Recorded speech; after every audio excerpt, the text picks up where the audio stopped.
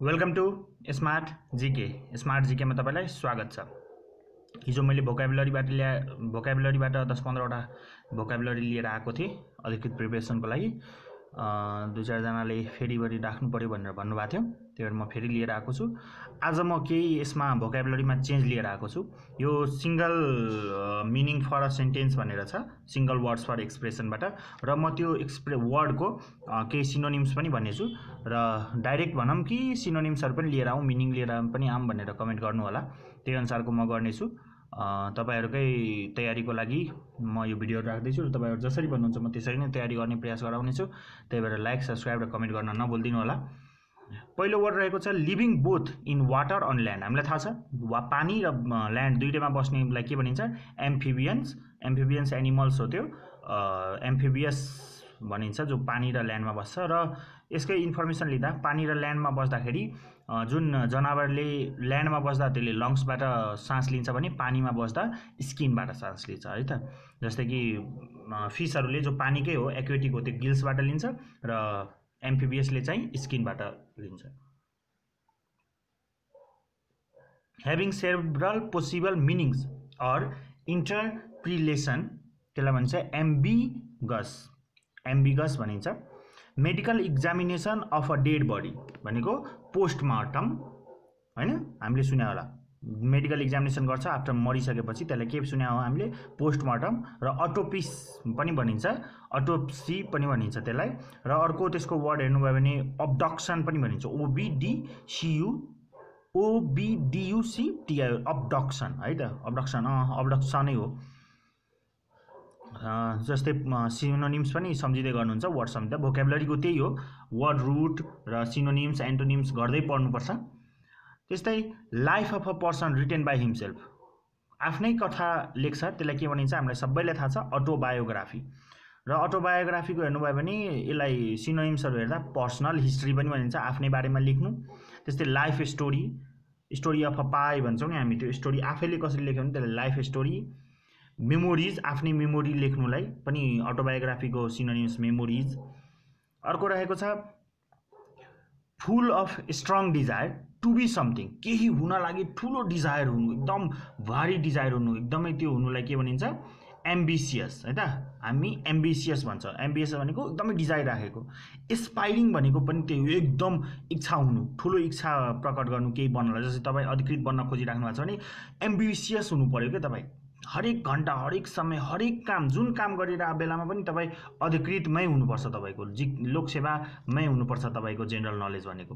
जति बेला पनि तपाईँ पढिराख्नु पर्ने हुन्छ जति बेला पनि त्यसकै ध्यानमा त्यही हो एम्बिसियस एस्पाइरिङ हो यसको सिनोनिम्स अर्को डिटरमाइन्ड हुनु पऱ्यो कुनै कुरामा। म यो गरेरै छाड्छु। जस्तै अधिकृत पढ्न सुरु गर्नुभएको छ भने तपाईँ अधिकृत नाम निकालेरै छोड्छु भनेर डिटरमाइन्ड हुनु पऱ्यो र भोग लाग्नु पऱ्यो हङ्ग्री म अधिकृत बन्न चाहन्छु भनेर हङ्ग्री हग्री हुनु हङ्ग्री हुनु पऱ्यो है त? सरी हङ्ग्री एचयुएनजिआरवाई हङ्ग्री भोक लागेको हुनु पऱ्यो कि मलाई अधिकृत खानु छ? अधिकृतको भोग हुनु पऱ्यो तपाईँले।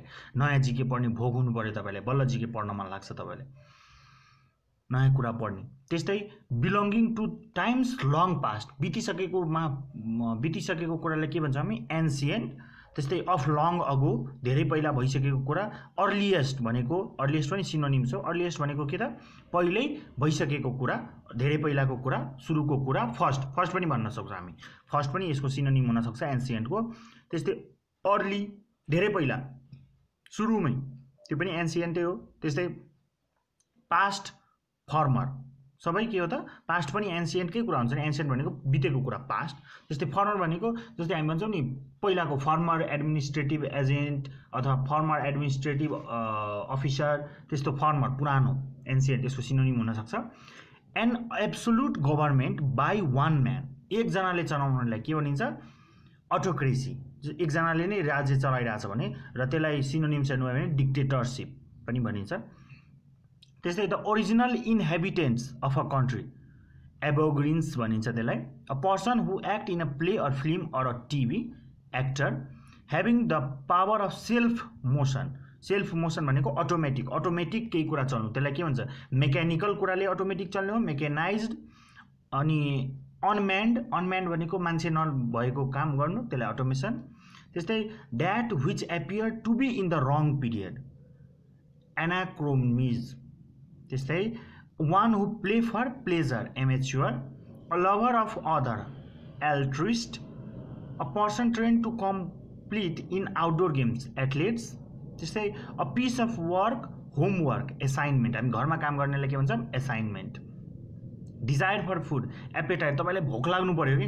एपेटाइट हङ्ग्री यसलाई पनि भन्न सक्नुहुन्छ hungry air transport aviation do away with केही कुरा गर्नुहोस् त्यसलाई के भनिन्छ? एब्लो एबोलिस हस् त यो साथै म अरू लिएर उपस्थित हुने छु र आजकोमा मैले के भोकाबुलरीमा केही चेन्ज ल्याएको छु।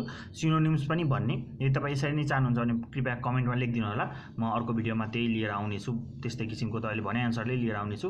हस् त लाइक सब्सक्राइब र कमेन्ट गर्न नभुल्नु होला र पढ्न त भुल्दै नभुल्नुहोस् पढेरै बस्नुहोस् दिनभरि लोकसेवामै बनाउनुहोस् र दुई चार एक घन्टा दिनको मेरो च्यानललाई पनि दिनुहोस् ताकि केही सिकाउन सकौँ भन्ने आश छ मेरो। यो च्यानलबाट तपाईँहरूलाई र अधिकृतको तयारीको लागि तपाईँहरूलाई केही सहयोग होस् भन्ने मात्रै अभियान हो मेरो। हस् त।